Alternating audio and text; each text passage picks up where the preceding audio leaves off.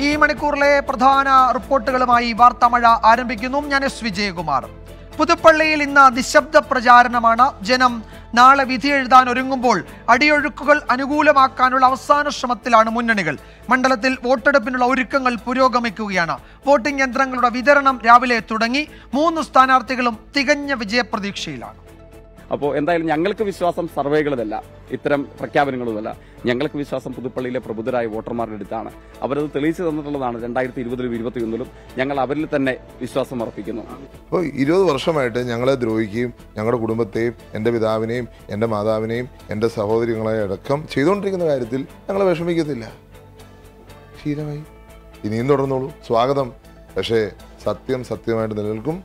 എത്ര ക്രൂശിച്ചാലും സത്യം ഉയർത്തെഴുന്നേൽക്കും അന്ന് തല നാണിച്ച് പോകും പുതുപ്പള്ളി ജനങ്ങളെ ബാധിക്കുന്ന നിരവധി വിഷയങ്ങളും മറ്റു കാര്യങ്ങളുണ്ട് ആ വിഷയങ്ങൾ ചർച്ച ചെയ്യുന്നതിനാണ് അവർക്ക് താല്പര്യം. അതിന് പരിഹാരം കാണണമെന്നാണ് അവർ ആഗ്രഹിക്കുന്നത്. അതുകൊണ്ട് തന്നെയാണ് ഞങ്ങൾ പറയുന്നത് ഈ തെരഞ്ഞെടുപ്പിൽ വികസനം ചർച്ചയാക്കിയ എൻ ഡി എക്കൊപ്പമാണ് പുതുപ്പള്ളിയിലെ ജനങ്ങൾ നിൽക്കുക എന്നത്.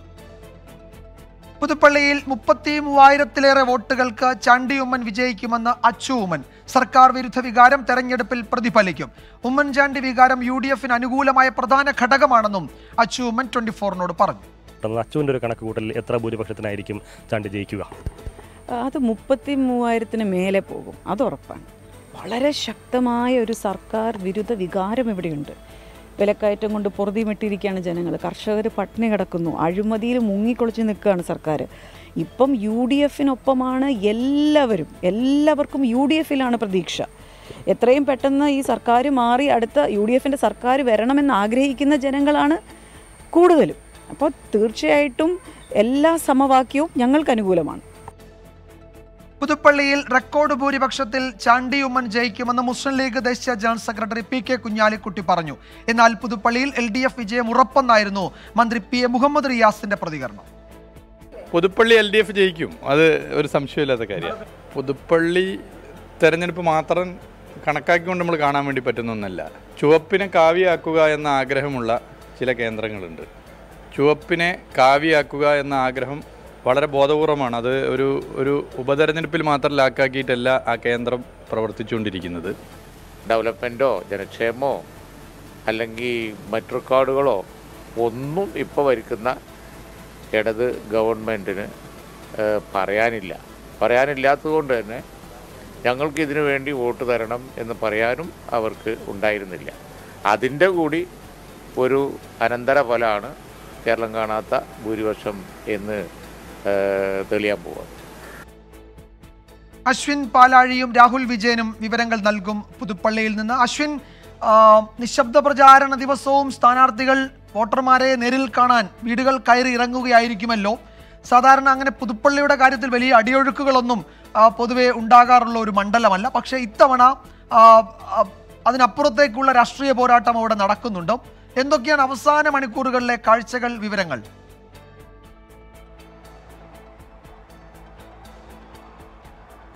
വിജയകുമാർ തീർച്ചയായും നിശബ്ദ പ്രചരണത്തിന്റെ ദിവസമാണ്. അവസാന മണിക്കൂറുകൾ കടന്നു പോവുകയാണ്. പോളിംഗിന് മുന്നേയുള്ള മൂന്ന് സ്ഥാനാർത്ഥികളും അവസാന വട്ടത്തിൽ വോട്ടുറപ്പിക്കാനുള്ള ഓട്ടത്തിൽ തന്നെയാണ്. വീടുകൾ കേന്ദ്രീകരിച്ചും വ്യക്തികളെ ഫോണിൽ വിളിച്ചുമൊക്കെ ഈ വോട്ടുറപ്പിക്കുകയാണ് മൂന്ന് പേരും. ജേക്സി തോമസ് രാവിലെ തന്നെ അടുത്ത ആളുകൾ അതായത് ഈ പ്രചരണ ദിവസങ്ങളിൽ കാണാൻ കഴിയാത്ത ആളുകളിലേക്ക് എത്താനുള്ള ശ്രമങ്ങളിലായിരുന്നു.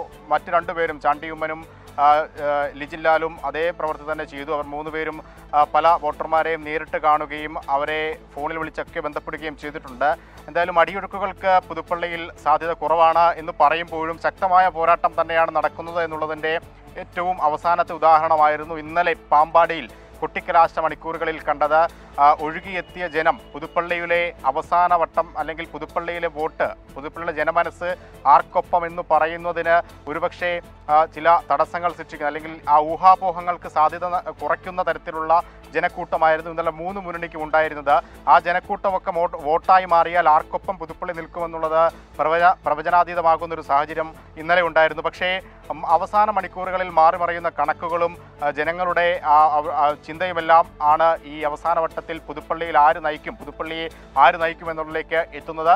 എന്തായാലും അവസാന മണിക്കൂറുകളിൽ ഈ തെരഞ്ഞെടുപ്പ് സാമഗ്രികളടക്കം അതിന്റെ മുന്നൊരുക്കങ്ങളെല്ലാം തന്നെ പൂർത്തിയായിക്കൊണ്ടിരിക്കുകയാണ്. ഇന്ന് അഞ്ച് മണിക്ക് മുന്നേ തന്നെ സർവസജ്ജമാകുമെന്നാണ് രാവിലെ കളക്ടർ പറഞ്ഞത്. എന്തായാലും മുന്നൊരുക്കങ്ങളും അതുമായി ബന്ധപ്പെട്ട മറ്റ് നടപടിക്രമങ്ങളും എല്ലാം പൂർത്തിയായി കഴിഞ്ഞിരിക്കുന്നു. നാളെ രാവിലെ മുതൽ പുതുപ്പള്ളി വിധി എഴുതി തുടങ്ങും. രാവിലെ വോട്ടിംഗ് ആരംഭിക്കുന്നത് മുതലുള്ള എല്ലാ കാര്യങ്ങളും സമഗ്രമായി തന്നെ നമ്മൾ ജനങ്ങളിലേക്ക് എത്തിക്കും. അഞ്ചു മണി മുതൽ സമഗ്ര കവറേജ് ഉണ്ടാകും. പുതുപ്പള്ളിയിൽ ഒരുക്കങ്ങൾ പൂർത്തിയായിക്കൊണ്ടിരിക്കുകയാണ്. സ്ഥാനാർത്ഥികൾ അവരുടേതായ ജോലികളിലും ഏർപ്പെട്ടിരിക്കുകയാണ്. വിജയകുമാർ. യെസ് അശ്വിൻ പാലാഴിയാണ് വിവരങ്ങൾ നൽകിയത്. രാഹുൽ ഇന്ന് ബി ജെ പി സ്ഥാനാർത്ഥിയുമായി രാഹുൽ സംസാരിച്ചു. അവരുൾപ്പെടെ മൂന്ന് മുന്നണികളും തികഞ്ഞ വിജയപ്രതീക്ഷയിൽ തന്നെയാണ്. ജേക്ക് സി തോമസ് ഒരു കാര്യം പറയുന്നുണ്ട്. ഇന്നലെ പാമ്പാടിയിലെ കലാശക്കൊട്ടിലെത്തിയ ഇടത് പ്രവർത്തകരുടെ വലിയ തിരക്ക് ആ റോഡ് ഷോ കാര്യങ്ങളാകെ മാറ്റിമറിക്കുമെന്നാണ് അദ്ദേഹം അഭിപ്രായപ്പെടുന്നത്. അങ്ങനെ അവസാന മണിക്കൂറുകളിലും ഈ കൂട്ടിയും കുറച്ചുമൊക്കെ കണക്കുകൾ ശേഖരിക്കുന്ന തിരക്കിലായിരിക്കുമല്ലോ മുന്നണികൾ. എന്താണ് ഈ മണിക്കൂറുകളിൽ പുതുപ്പള്ളിയിലെ മുന്നണികളുടെ തന്ത്രങ്ങൾ അവരുടെ നീക്കങ്ങൾ?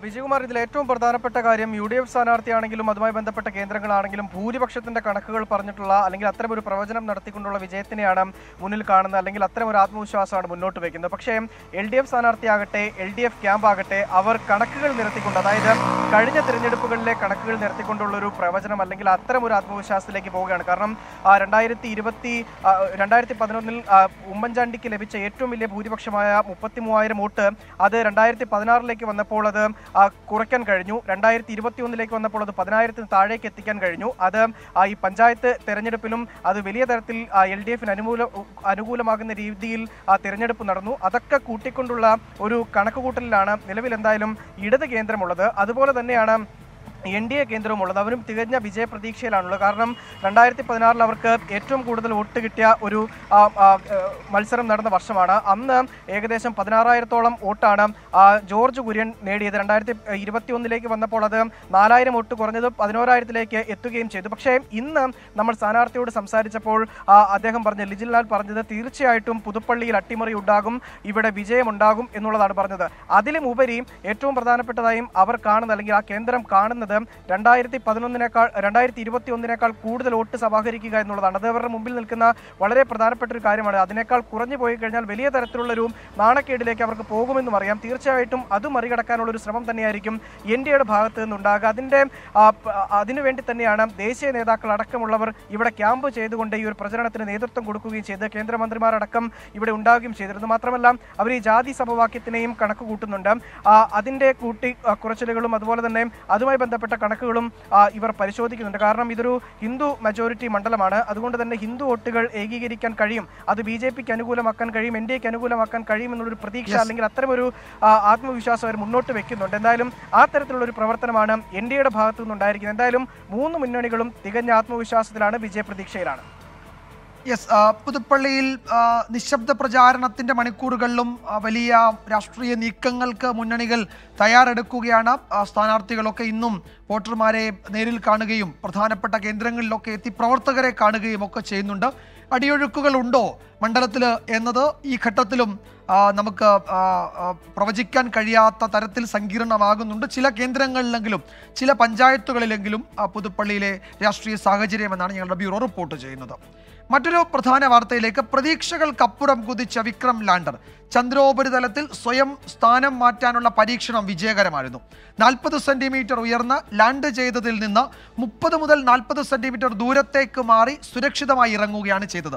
പേലോഡുകൾ മികച്ച പ്രവർത്തനം കാഴ്ചവെക്കുന്നുണ്ടെന്ന് ഐ എസ് ആർഒ അറിയിക്കുന്നു. മനേഷ് മൂർത്തിയാണ് വിവരങ്ങളുമായി ചേരുന്നത്. മനേഷ് ഇത് ഈ പരീക്ഷണം സുപ്രധാനമാണ്. നമ്മൾ കേട്ടിട്ടുള്ളത് ഇത്തരം ഒരു പരീക്ഷണം നടത്തുന്നത് എന്താണ് മനുഷ്യനെ ചന്ദ്രനിൽ ഇറക്കാനുള്ള പരീക്ഷണങ്ങളുടെ തുടക്കം എന്നാണ് കേട്ടിട്ടുള്ളത്. ഐ എസ് ആർ ഔദ്യോഗികമായി അത് പറയുന്നില്ല പക്ഷേ അത്തരം പരീക്ഷണങ്ങളുടെ തുടക്കമാണ് ഇന്ന് വിക്രം ലാൻഡറിൽ ചെയ്തത് എന്നതാണ്. അങ്ങനെയാണെങ്കിൽ ഒരു പ്രധാനപ്പെട്ട നാഴികക്കല്ല് പിന്നിട്ടു എന്ന് വേണം കരുതാൻ. എന്തൊക്കെയാണ് ഔദ്യോഗികമായി ഇസ്രോ അറിയിക്കുന്നത്?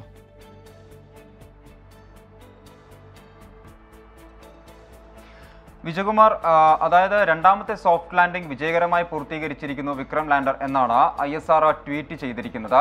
അതിൽ വളരെ വ്യക്തമായി തന്നെ പറയുന്ന ഒരു കാര്യം ഇത്തരം കിക്ക് സ്റ്റാർട്ടിലൂടെ നാൽപ്പത് സെന്റിമീറ്റർ മീറ്റർ ഉയർന്നുകൊണ്ട് മുപ്പത് മുതൽ നാൽപ്പത് സെന്റിമീറ്റർ അകലേക്ക് മാറി സുരക്ഷിതമായി ലാൻഡ് ചെയ്യാൻ വിക്രം ലാൻഡറിന് സാധിച്ചു. ഇത് വരും ദൗത്യങ്ങൾക്ക് പ്രത്യേകിച്ചും മനുഷ്യ ദൗത്യങ്ങൾ ഉൾപ്പെടെയുള്ള ദൗത്യങ്ങൾക്ക് വലിയ പ്രതീക്ഷ നൽകുന്നതാണ് എന്നാണ് ഐ എസ് ആർ ട്വീറ്റ് ചെയ്തിരിക്കുന്നത്. മാത്രമല്ല അതായത് ഇത്തരം ഈ കിക്ക് സ്റ്റാർട്ട് എന്ന് പറയുന്ന പ്രക്രിയയിലൂടെ പേടകത്തെ തിരികെ ഭൂമിയിലേക്ക് എത്തിക്കാൻ സാധിക്കും. അത് മനുഷ്യരെ വഹിച്ചുകൊണ്ടുള്ള പേടകത്തെ പോലും തിരിച്ച് ഭൂമിയിലേക്ക് എത്തിക്കാനുള്ള സാധ്യത ആ ഒരു സാധ്യതയ്ക്കുള്ള ഒരു പരീക്ഷണമാണ് ഇന്നിപ്പോൾ നടന്നത്. അത് വളരെ വിജയകരമായി തന്നെ വിക്രം ലാൻഡർ പൂർത്തീകരിക്കുകയും ചെയ്തിരിക്കുന്നു. നാൽപ്പത് സെന്റിമീറ്റർ ആണ് ഉയർന്നത്. സോഫ്റ്റ് ലാൻഡിംഗ് തന്നെ നടത്തുകയും ചെയ്തിട്ടുണ്ട്. അതിനുശേഷം പേലോഡുകളെല്ലാം തന്നെ വളരെ കൃത്യമായി ഇപ്പോഴും പ്രവർത്തിച്ചുകൊണ്ടിരിക്കുന്നു. ആ പേലോഡുകളെല്ലാം രണ്ട് പേലോഡുകൾ ചെസ്റ്റ് ചെസ്റ്റ് ആണെങ്കിലും ഇസ്ലി ആണെങ്കിലും അകത്തേക്ക് അതായത് ലാൻഡറിനകത്തേക്ക് പ്രവേശിക്കുന്നു. സുരക്ഷിതമായി ലാൻഡ് ചെയ്യുകയും ചെയ്തിരിക്കുന്നു എന്നുള്ളതാണ് ഐ എസ് ആർ പറയുന്നത്. വളരെ പ്രധാനപ്പെട്ട അല്ലെങ്കിൽ സുപ്രധാനമായ ഒരു പരീക്ഷണം തന്നെയാണ് ഇന്നിപ്പോൾ വിജയകരമായി ഐ എസ് ആർ പൂർത്തീകരിച്ചിരിക്കുന്നത്. നമുക്കറിയാം നേരത്തെ തന്നെ ഐ എസ് ആർഒയുടെ ചെയർമാൻ എസ് സോമനാഥ് പറഞ്ഞത് രണ്ടായിരത്തി ഇരുപത്തി അഞ്ചോടുകൂടി മനുഷ്യ ദൗത്യം ചന്ദ്രനിലേക്ക് നടത്തുമെന്നുള്ളത് അദ്ദേഹം പറഞ്ഞിരുന്നതാണ്. അതിന് വളരെ ബലം നൽകുന്ന അല്ലെങ്കിൽ അതിന് വളരെ പ്രതീക്ഷ നൽകുന്ന ഒരു പരീക്ഷണം തന്നെയാണ് ഇന്നിപ്പോൾ ഈ കിക്ക് സ്റ്റാർട്ടിലൂടെ ഐ എസ് ആർഒ വിജയകരമായി പൂർത്തീകരിച്ചിരിക്കുന്നത്. വിജയകുമാർ. ഒപ്പം പേലോഡുകളുടെ പ്രവർത്തനം മികച്ച നിലയിലാണ് എന്നും ഐ എസ് ആർ അറിയിക്കുന്നുണ്ട്. വളരെ പ്രധാനപ്പെട്ട ഒരു നാഴികക്കല്ലാണ് ഈ സ്വയം സ്ഥാനം മാറ്റാനുള്ള പരീക്ഷണം വിജയകരമെന്ന് അറിയിക്കുന്നതിലൂടെ ഐ എസ് ആർ ഒ പിന്നിട്ടിരിക്കുന്നത് നാൽപ്പത് സെന്റിമീറ്റർ ഉയർന്ന ലാൻഡ് ചെയ്തതിൽ നിന്ന് ഏതാണ്ട് ഒരു നാൽപ്പത് സെന്റിമീറ്റർ ദൂരത്തേക്ക് മാറി സുരക്ഷിതമായി അത് വീണ്ടും ഇറങ്ങി എന്നതാണ് ഔദ്യോഗികമായി ഇസ്രോ അറിയിക്കുന്നത്. വളരെ നിർണായകമാണ് ഈ പരീക്ഷണവും അതിന്റെ ഫലവും എന്ന് ഐ തന്നെ പറയുന്നുണ്ട് മറ്റൊരു പ്രധാന വാർത്തയിലേക്കാണ്. ഇടവേളയ്ക്ക് ശേഷം സംസ്ഥാനത്ത് കാലവർഷം സജീവമാവുകയാണ്. ഇന്ന് രണ്ട് ജില്ലകളിൽ യെല്ലോ അലേർട്ട് ഉണ്ട്. ബംഗാൾ ഉൾക്കടലിൽ ഇരുപത്തിനാല് മണിക്കൂറിനുള്ളിൽ ന്യൂനമർദ്ദം രൂപപ്പെടുന്നതോടെ മഴ കൂടുതൽ ശക്തമാകുമെന്നാണ് സൂചന. കേരള തീരത്ത് ഇന്ന് ഉയർന്ന തിരമാലയ്ക്കും കടലാക്രമണത്തിനും സാധ്യതയുണ്ട്. കഴിഞ്ഞ ഇരുപത്തിനാല് മണിക്കൂറിനൂടെ പത്തനംതിട്ടയിലെ കരിപ്പൻതോട് മനീറ ഭാഗങ്ങളിൽ അതിതീവ്ര മഴ ലഭിച്ചുവെന്നാണ് കാലാവസ്ഥാ നിരീക്ഷണ കേന്ദ്രം അറിയിക്കുന്നത്. ഇരുപത്തിയെട്ട് ദശാംശം രണ്ടു സെന്റിമീറ്റർ മഴയാണ് കരിപ്പൻതോട് മാത്രം പെയ്തത്. ജില്ലയിലെ ഈ വർഷത്തെ ഏറ്റവും ശക്തമായ മഴയാണിത്. അലക്സ് റാം മുഹമ്മദ് തിരുവനന്തപുരത്ത് നിന്ന് വിവരങ്ങൾ നൽകും. അലക്സ് ഈ പത്തനംതിട്ടയുടെ കിഴക്കൻ മേഖലകളിലെ ഈ അതിതീവ്ര മഴയ്ക്ക് എന്തെങ്കിലും പ്രത്യേക കാരണമുണ്ടോ? ഇരുപത്തിയെട്ട് സെന്റിമീറ്റർ മഴ എന്നൊക്കെ പറയുന്നത് അതിതീവ്രം എന്ന് പറയുന്നതിനൊക്കെ അപ്പുറമാണ് അതിന്റെ ഇമ്പാക്റ്റ് അപ്പോൾ അത്രയും വലിയ മഴ പെയ്യുന്നതിന് എന്തെങ്കിലും പ്രത്യേക കാരണമുണ്ടോ ഈ മേഖലയിൽ മാത്രം?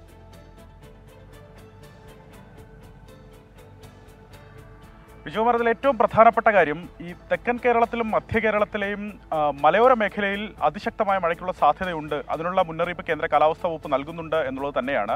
അതിന്റെ പ്രധാനപ്പെട്ട കാരണം നമ്മൾ നേരത്തെ സൂചിപ്പിച്ചതുപോലെ ഈ ബംഗാൾ ഉൾക്കടലിൽ നിലനിൽക്കുന്ന ചക്രവാത ചുഴി അത് ശക്തി പ്രാപിച്ച് ന്യൂനമർദ്ദമായി മാറുന്നു. ഇതിന്റെ സ്വാധീനം ഈ മേഖലയിൽ ഉണ്ടാകുമെന്ന് പറയുന്നു. പക്ഷേ അതിനെല്ലാം അപ്പുറം ഏറ്റവും പ്രധാനം ഈ മേഖല പ്രത്യേകിച്ച് മധ്യ കേരളത്തിലെയും തെക്കൻ കേരളത്തിലും ഈ കൂമ്പാര മേഘങ്ങളുടെ സാന്നിധ്യം കൂടുതലായി ഉണ്ട് എന്നാണ് ഈ റഡാർ ഇമേജ് ഒക്കെ നോക്കുമ്പോൾ വ്യക്തമാക്കുന്നത്. കാലാവസ്ഥാ നിരീക്ഷണ കേന്ദ്രം അതുപോലെ കാലാവസ്ഥാ വിദഗ്ധരും അത്തരത്തിൽ വ്യക്തമാക്കുകയും ചെയ്യുന്നുണ്ട്. അപ്രതീക്ഷിതമായ മഴ ഈ തെക്കൻ കേരളത്തിലെ മധ്യ കേരളത്തിലെ മലയോര മേഖലകളിൽ ഉണ്ടാകും ഉണ്ടാകാനുള്ള സാധ്യത അടുത്ത മണിക്കൂറുകളിലും ഉണ്ട് എന്നാണ് കേന്ദ്ര കാലാവസ്ഥാ വകുപ്പ് അറിയിക്കുന്നത്. അതിനാൽ ജാഗ്രത മലയോര മേഖലയിൽ തുടരേണ്ടതുണ്ട് എന്നുള്ളതാണ് ഏറ്റവും പ്രധാനപ്പെട്ട കാര്യം. ഇന്ന് രണ്ട് ജില്ലകൾക്ക് മാത്രമാണ് ശക്തമായ മഴയ്ക്ക് ഉള്ള സാധ്യതാ മുന്നറിയിപ്പായി യെല്ലോ അലേർട്ട് നൽകിയിട്ടുള്ളത്. അത് ആലപ്പുഴയിലും എറണാകുളത്തുമാണ് ഒരുപക്ഷെ വരുന്ന മഴ മുന്നറിയിപ്പിൽ ഒരു ഒരു മണിക്ക് വരുന്ന മഴ മുന്നറിയിപ്പിൽ അതിന് മാറ്റമുണ്ടായേക്കാം. എന്താണെങ്കിലും രണ്ട് ജില്ലകൾക്കാണ് നൽകിയിട്ടുള്ളതെങ്കിൽ പോലും കഴിഞ്ഞ മണിക്കൂറുടെ ഏറ്റവും കൂടുതൽ മഴ ലഭിച്ചത് ഈ പറഞ്ഞതുപോലെ പത്തനംതിട്ട മേഖലയിലും തെക്കൻ കേരളത്തിലെ മലയോര മേഖലയിലുമാണ്. അതിന്റെ കണക്കുകൾ കൂടി കേന്ദ്ര കാലാവസ്ഥാ വകുപ്പ് ഈ ഘട്ടത്തിൽ വ്യക്തമാക്കുന്നുണ്ട്. ഏറ്റവും കൂടുതൽ മഴ കഴിഞ്ഞ ഇരുപത്തിനാല് മണിക്കൂറിനിടെ ലഭിച്ചത് പത്തനംതിട്ടയിലെ കരിപ്പൻതോടും മനീറ ഭാഗങ്ങളിലുമാണ്. കരിപ്പൻതോടും മനീറയിലും അതിതീവ്ര മഴയാണ് കഴിഞ്ഞ ഇരുപത്തിനാല് മണിക്കൂറിനിടെ രേഖപ്പെടുത്തിയത് എന്നുള്ളതാണ്. അതായത് റെഡ് അലേർട്ടിന് മുകളിൽ മഴ കഴിഞ്ഞ ഇരുപത്തിനാല് മണിക്കൂറിനിടെ അവിടെ ലഭിച്ചു എന്നുള്ളതാണ്. കരിപ്പൻതോട് ഇരുപത്തിയെട്ട് ദശാംശം രണ്ട് സെന്റിമീറ്റർ മഴയും മനീറയിൽ ഇരുപത്തിമൂന്ന് സെന്റിമീറ്റർ മഴയുമാണ് കാലാവസ്ഥാ നിരീക്ഷണ കേന്ദ്രത്തിന്റെ കണക്കുകളിൽ രേഖപ്പെടുത്തിയിട്ടുള്ളത്. സമാനമായി തന്നെ പത്തനംതിട്ടയിലെ മറ്റു സ്റ്റേഷനുകളിലും അതിശക്തമായ മഴ ലഭിച്ചതായി കണക്കുകൾ വ്യക്തമാക്കുന്നു. മൂഴിയാറിൽ പതിനേഴ് പതിനെട്ട് സെന്റിമീറ്റർ മഴ നീരമാംകുളത്ത് പതിനാറ് സെന്റിമീറ്റർ മഴ തവളപ്പാറയിൽ പതിനഞ്ച് സെന്റിമീറ്റർ ചെറുകുളഞ്ഞിയിൽ പതിനാല് സെന്റിമീറ്റർ അങ്ങനെ അതിശക്തമായ മഴ പത്തനംതിട്ടയിലെ വിവിധ ഇടങ്ങളിൽ ലഭിച്ചിട്ടുണ്ട്. അത് കാര്യമായി തന്നെ അടുത്ത മണിക്കൂറുകളിലും ഉണ്ടാകും എന്നൊരു മുന്നറിയിപ്പ് നൽകുന്നുണ്ട്. മറ്റൊന്ന് തീരവുമായി ബന്ധപ്പെട്ടാണ്. കേരള തീരത്ത് ഉയർന്ന തിരമാലയ്ക്ക് ഒരു കാര്യം ചോദിക്കാനുള്ളത്. പുതുപ്പള്ളി നാളെ പോളിംഗ് ബൂത്തിലേക്ക് പോവുകയാണ്. കോട്ടയം അടങ്ങുന്ന മേഖലയിൽ മഴയ്ക്ക് സാധ്യതയുണ്ടോ? അത് പുതുപ്പള്ളി ഉപതെരഞ്ഞെടുപ്പ് മഴയിൽ കുതിരുമോ? യെല്ലോ അലേർട്ട് ഉണ്ട് ഇന്ന് അവിടെ നാളത്തെ അവസ്ഥ ഒരു പക്ഷേ ഒരു മണി കഴിഞ്ഞേ പുതിയ എന്താണ് വെതർ ബുള്ളറ്റിൻ വരാനിരിക്കുന്നതേ ഉള്ളൂ. എങ്കിലും സാഹചര്യവും സാധ്യതയും എന്താണ്? വിജയകുമാർ തീർച്ചയായും മഴ പ്രതീക്ഷിക്കാം. ഒരു അതിശക്തമായ മഴയോ ശക്തമായ മഴയോ ഉണ്ടായില്ലെങ്കിൽ പോലും ഇടവിട്ട മഴ പുതുപ്പള്ളിയിലും ഉണ്ടാകും എന്നുള്ളത് തന്നെയാണ്. മഴ പ്രതീക്ഷിച്ച വോട്ടർമാർ പോളിംഗ് ബൂത്തുകളിലേക്ക് പോകാൻ തയ്യാറെടുത്താൽ മതി എന്നുള്ളതാണ്. കാരണം ഞാൻ നേരത്തെ സൂചിപ്പിച്ചതുപോലെ മധ്യ കേരളത്തിലെ തെക്കൻ കേരളത്തിലെ വിവിധയിടങ്ങൾ പ്രത്യേകിച്ച് മലയോര മേഖലയിൽ മഴയ്ക്കുള്ള സാധ്യത പ്രവചിക്കുന്നുണ്ട്. അതിനുള്ള സാഹചര്യം തന്നെയാണ് ഈ കാലാവസ്ഥ സാഹചര്യങ്ങൾ കൂടി നൽകുന്നതെന്ന് കേന്ദ്ര കാലാവസ്ഥാ വകുപ്പ് അറിയിക്കുന്നുണ്ട് വിജയകുമാർ യെസ് അലക്സ് മുഹമ്മദാണ് വിവരങ്ങൾ നൽകിയത്. മധ്യ കേരളത്തിൽ വ്യാപകമായ മഴയ്ക്ക് സാധ്യതയുണ്ട്. കോട്ടയം ജില്ലയിലും മഴ പെയ്യും എന്നാണ് അറിയിച്ചിരിക്കുന്നത്. അങ്ങനെയാണെങ്കിൽ പുതുപ്പള്ളി ഉപതെരഞ്ഞെടുപ്പ് ദിവസം ഭേദപ്പെട്ട മഴ ആ മേഖലയിൽ ഉണ്ടാകും എന്നൊരു മുന്നറിയിപ്പ് വരുന്നുണ്ട്. അല്പസമയത്തിനകം പുതിയ കാലാവസ്ഥാ വിവരങ്ങൾ കേന്ദ്ര കാലാവസ്ഥാ വകുപ്പ് നൽകാനിരിക്കുന്നതേ ഉള്ളൂ. കേരളത്തിന് അനുവദിച്ച രണ്ടാം വന്ദേ ഭാരത് ട്രെയിൻ മംഗലാപുരം കോട്ടയം റൂട്ടിൽ സർവീസ് നടത്തും. പുതുപ്പള്ളി ഉപതെരഞ്ഞെടുപ്പിന് ശേഷം ട്രെയിൻ കേരളത്തിലെത്തും. നടപടിക്രമങ്ങൾ പൂർത്തിയായി എന്നാണ് ലഭ്യമായ വിവരങ്ങൾ. ശ്രീകാന്ത് വിവരങ്ങൾ നൽകും കൊച്ചിയിൽ നിന്ന്. ശ്രീകാന്ത് മംഗലാപുരം കോട്ടയം റൂട്ടിൽ സർവീസ് നടത്തുമെന്നത് ഔദ്യോഗികമായി എപ്പോഴായിരിക്കും റെയിൽവേ അറിയിക്കുക? പുതുപ്പള്ളി ഉപതെരഞ്ഞെടുപ്പ് ഉള്ളതുകൊണ്ടാണോ അത് ഔദ്യോഗിക പ്രഖ്യാപനം ഉണ്ടാകാൻ വൈകുന്നത്? വിജയകുമാർ ലഭ്യമാകുന്ന വിവരമനുസരിച്ച് പാലക്കാട് ഡിവിഷന് ഈ ട്രെയിൻ കൈമാറി മംഗലാപുരം അതോടൊപ്പം കോട്ടയം റൂട്ടിൽ സർവീസ് നടത്തുക എന്നുള്ളതാണ് ഏറ്റവും ഒടുവിൽ തീരുമാനിച്ചിരിക്കുന്ന വിവരം എന്നാണ് ലഭ്യമാകുന്നത്. അത് നിലവിൽ പുതുപ്പള്ളിയിൽ ഈ പെരുമാറ്റച്ചട്ടം നിലനിൽക്കുന്നതിനാൽ തന്നെ അതിന്റെ പ്രഖ്യാപനം ഇപ്പോൾ നടത്തുക സാധ്യമല്ല എന്നും പറയുന്നു. അതിനാൽ തന്നെ ഔദ്യോഗിക പ്രഖ്യാപനം ഉണ്ടാകാൻ സാധ്യത അത് ഈ പുതുപ്പള്ളി തെരഞ്ഞെടുപ്പിന് ശേഷമായിരിക്കും അതിനുശേഷമായിരിക്കും ട്രെയിൻ ഇവിടേക്ക് എത്തിക്കുക എന്നും പറയുന്നു. ഇനി കോട്ടയത്തെ ഒരു സാഹചര്യം പരിശോധിച്ചാൽ അവിടെ ഇതിന്റെ മെയിന്റനൻസിനുള്ള സൗകര്യങ്ങൾ നിലവിലില്ല. അത് ഇത് മംഗലാപുരത്ത് മെയിന്റനൻസ് ചെയ്യുന്ന രീതിയിൽ മംഗലാപുരത്ത് നിന്ന് ട്രെയിൻ ആരംഭിച്ച് കോട്ടയത്തെത്തി തിരികെ മംഗലാപുരത്തേക്ക് പോയി അവസാനിപ്പിക്കുന്ന രീതിയിലായിരിക്കും ഇത് പരിഗണിക്കുക എന്നുള്ള വിവരവും വരുന്നുണ്ട് ഇതിന്റെ എല്ലാം ഔദ്യോഗികമായ പ്രഖ്യാപനം വരേണ്ടത് പുതുപ്പള്ളി തെരഞ്ഞെടുപ്പിന് ശേഷമാണ്. എന്തായാലും പാലക്കാട് ഡിവിഷന് കീഴിലേക്ക് ഈ ട്രെയിൻ എത്തും എന്നുള്ള വിവരം ഏറെക്കുറെ ഉറപ്പിക്കാവുന്ന രീതിയിൽ തന്നെയാണ് ലഭിക്കുന്നത്. കേരളത്തിന് അനുവദിച്ച രണ്ടാം വന്ദേ ഭാരത് ട്രെയിൻ മംഗലാപുരം കോട്ടയം റൂട്ടിൽ സർവീസ് നടത്തിയേക്കും. പുതുപ്പള്ളി ഉപതെരഞ്ഞെടുപ്പിന് ശേഷം ഇക്കാര്യത്തിൽ ഔദ്യോഗിക പ്രഖ്യാപനം ഉണ്ടാകുമെന്നാണ് കൊച്ചി ബ്യൂറോ റിപ്പോർട്ട് ചെയ്യുന്നത്. ശ്രീ ശ്രീകാന്താണ് വിവരങ്ങൾ നൽകിയത്. സനാതന ധർമ്മ വിവാദത്തിൽ ഉദയനിധി സ്റ്റാലിനെ പ്രോസിക്യൂട്ട് ചെയ്യാൻ ഗവർണറുടെ അനുമതി തേടി ബി ജെ പി. സംസ്ഥാന സെക്രട്ടറി അഡ്വക്കേറ്റ് എ അശ്വത്ഥമൻ ഗവർണർക്ക് ഇത് സംബന്ധിച്ച് കത്ത് നൽകി. ഉദയനിധി സ്റ്റാലിനെതിരെ ഹിന്ദുമക്കൾ കക്ഷിയും രംഗത്തെത്തി. വ്യാഴാഴ്ച സംസ്ഥാന വ്യാപക പ്രതിഷേധം സംഘടിപ്പിക്കാനാണ് തീരുമാനം. ബി ജെ പിക്കെതിരെ പ്രഭാഷണ പരമ്പരയ്ക്ക് തുടക്കമിട്ട മുഖ്യമന്ത്രി എം കെ സ്റ്റാലിനും രംഗത്തുണ്ട്. മനേഷ് മൂർത്തി വിവരങ്ങൾ നൽകും. ചെന്നൈയിൽ നിന്ന് മനേഷ് ഉദയനിധി സ്റ്റാലിന്റെ പ്രസ്താവന ദേശീയ തലത്തിൽ ബി ജെ പി ഒരു പ്രചാരണ വിഷയമായി അല്ലെങ്കിൽ ഒരു വിവാദ വിഷയമായി ഏറ്റെടുത്തിട്ടുണ്ട്. എന്താണ് സംസ്ഥാന ഘടകത്തിന്റെ നീക്കം? ഇത് തമിഴ്നാട്ടിൽ എന്ത് തരം ചർച്ചയ്ക്കാണ് തുടക്കമിട്ടിരിക്കുന്നത്?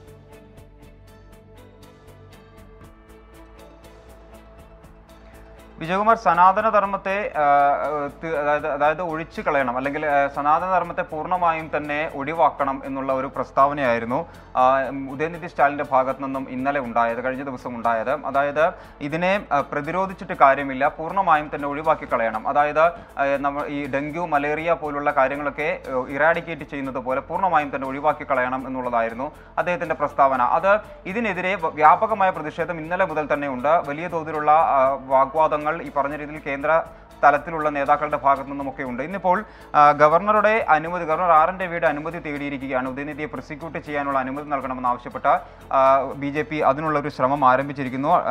ബി ജെ പിയുടെ സംസ്ഥാന സെക്രട്ടറി അഡ്വക്കേറ്റ് എ അശ്വത്ഥമനാണ് ഇതുമായി ബന്ധപ്പെട്ടപ്പോൾ കത്ത് നൽകിയിരിക്കുന്നത്. മാത്രമല്ല ഹിന്ദു മക്കൾ കക്ഷി വലിയ തോതിലുള്ള പ്രതിഷേധത്തിന് ആഹ്വാനം ചെയ്തിട്ടുണ്ട്. സംസ്ഥാന വ്യാപകമായി ഉദയനിധിക്കെതിരെ കേസ് നൽകുക എന്നുള്ളതാണ് ആദ്യപടി. മാത്രമല്ല ഏഴാം തീയതി സംസ്ഥാന വ്യാപക പ്രതിഷേധം സംഘടിപ്പിക്കാനും തീരുമാനിച്ചിട്ടുണ്ട്. ഈ പരിപാടിയിൽ പങ്കെടുത്ത സനാതന ധർമ്മത്തിനെതിരായ പരിപാടിയിൽ പങ്കെടുത്ത ഉദയനിധി സ്റ്റാലിൻ അതുപോലെ തന്നെ ദേവസ്വം മന്ത്രി ശേഖർ ബാബു മന്ത്രി ശേഖർ ബാബു എന്നിവർ രാജിവെക്കണമെന്നും ഹിന്ദു മുന്നണി ഹിന്ദു മക്കൾ കക്ഷി ആവശ്യപ്പെടുന്നുണ്ട്. എന്തായാലും വ്യാപകമായ തോതിലുള്ള പ്രതിഷേധത്തെ തന്നെയാണ് ബി ആഹ്വാനം ചെയ്യുന്നത്. എന്നാൽ ഇത് ഏത് തരത്തിലുള്ള കേസുകൾ വന്നാലും ശരി സനാതന ധർമ്മത്തിനെതിരെ പറഞ്ഞ കാര്യങ്ങളിൽ തന്നെ ഉറച്ചു നിൽക്കുന്നു. അത് എന്ത് തരം കേസുകൾ വന്നാലും അതിനെ നേരിടാൻ തയ്യാറാണ് എന്ന ഉദയനിധി ആവർത്തിക്കുകയും ചെയ്യുന്നുണ്ട്. എന്തായാലും ഇതിന് ഇതിനിടെയാണ് ഇപ്പോൾ ഈ പറഞ്ഞ സനാതന ധർമ്മ വിവാദം നിലനിൽക്കുന്നതിനിടെയാണ് ബി ജെ പിക്കെതിരെ രൂക്ഷ വിമർശനവുമായി മുഖ്യമന്ത്രി എം കെ സ്റ്റാലിനും രംഗത്തെത്തുന്നത്. അത് പ്രഭാഷണ പരമ്പരയായി തന്നെ പ്രസിദ്ധീകരിക്കുകയാണ്. അതിന് ഒരു ഒരു ആ രീതിയിലാണ് ഇപ്പോൾ അത് പ്ലാൻ ചെയ്തിരിക്കുന്നത്. വരും ദിവസങ്ങളിലും നാല് ഭാഷകളിലുണ്ട്. മലയാളം ഉൾപ്പെടെയുള്ള നാല് ഭാഷകളിലാണ് ആ പ്രഭാഷണ പരമ്പര നടത്തുന്നത്. അതിൽ അദ്ദേഹം പ്രധാനമായും പറഞ്ഞത് തെരഞ്ഞെടുപ്പ് പ്രചാരണങ്ങൾ പ്രചാരണത്തിൽ നൽകിയ വാഗ്ദാനങ്ങൾ ഒന്നും തന്നെ ബി ജെ പി പാലിച്ചിട്ടില്ല. ഇതിനൊക്കെ ഒഴിവാക്കുന്നതിന് വേണ്ടി അല്ലെങ്കിൽ ഇതിനൊക്കെ മറച്ചു വെക്കുന്നതിന് വേണ്ടി മതപരമായ കാര്യങ്ങൾ മതത്തിന് മറയാക്കുകയാണ് ബി ജെ പി ചെയ്യുന്നത്. രണ്ടായിരത്തി രണ്ടിൽ ഗുജറാത്തിൽ ആരംഭിച്ചത് ഇപ്പോഴും രണ്ടായിരത്തി ഇരുപത്തി മൂന്ന് ആകുമ്പോഴും മണിപ്പൂരിലും തുടരുന്ന ഒരു സാഹചര്യമുണ്ട്. ഇത് പൂർണമായും തന്നെ ഇനി ഇനിയും ഇവരെ നിലയ്ക്ക് നിർത്തിയില്ലെങ്കിൽ അല്ലെങ്കിൽ ഇനിയും ഇവരെ ഒഴിവാക്കിയില്ലെങ്കിൽ രാജ്യത്തെ രക്ഷിക്കാനാകില്ല എന്നാണ് എം കെ സ്റ്റാലിൻ പറയുന്നത്. അങ്ങനെ കേന്ദ്രത്തിനെതിരെ വലിയ രൂക്ഷമായ പ്രതികരണങ്ങളുമായി ഡി എം കെ രംഗത്തുണ്ട്. സനാതന ധർമ്മ വിവാദത്തിൽ വലിയ പ്രതിഷേധമാണ് ബി ജെ പിയുടെയും അതുപോലെ തന്നെ മറ്റ് ഹൈന്ദവ സംഘടനകളുടെയും ഭാഗത്തു നിന്നും ഉണ്ടാകുന്നത്. വിജയകുമാർ. യെസ് ഈ വിഷയത്തിൽ കോൺഗ്രസിന്റെ പ്രതികരണം നേരത്തെ തേടിയിരുന്നു. സർവമത സമഭാവനയാണ് കോൺഗ്രസിന്റെ ഇക്കാര്യത്തിലെ നിലപാട് എന്നായിരുന്നു കെ സി വേണുഗോപാൽ വാർത്താ സമ്മേളനത്തിൽ വിശദീകരിച്ചത്. ഉദയനിധിയെ പ്രോസിക്യൂട്ട് ചെയ്യാൻ ഗവർണറുടെ അനുമതി തേടിയിരിക്കുകയാണ് ബി സംസ്ഥാന സെക്രട്ടറിയാണ് ഗവർണർക്ക് കത്ത് നൽകിയത് ഹിന്ദുമക്കൾ കക്ഷിയും ഉദയനിധിക്കെതിരെ രംഗത്തെത്തിയിട്ടുണ്ട്. വ്യാഴാഴ്ച സംസ്ഥാന വ്യാപക പ്രതിഷേധം സംഘടിപ്പിക്കാനാണ് തീരുമാനം. അനേഷ് മൂർത്തിയാണ് വിവരങ്ങൾ നൽകിയത്. റിപ്പോർട്ടോടെ വാർത്താമഴ അവസാനിക്കുന്നു.